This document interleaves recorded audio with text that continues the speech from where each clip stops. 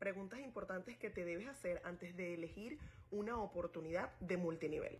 Número uno, ¿es realmente una oportunidad legítima o es una pirámide? ¿Cómo puedes saberlo? Asegúrate que sea una oportunidad que se enfoca en la venta de productos y en clientes reales. ¿De dónde viene la mayor parte de su revenue?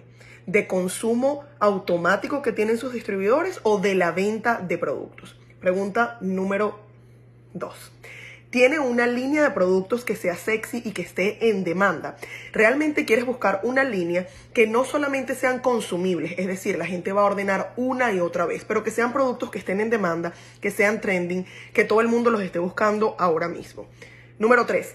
Por último, quieres asegurarte de entrar en una compañía que tenga primero un sistema poderoso que te permita duplicar, que te permita tener éxito en las redes sociales. Y número dos, quieres tener un equipo, un liderazgo, un mentor que te va a apoyar en todo momento.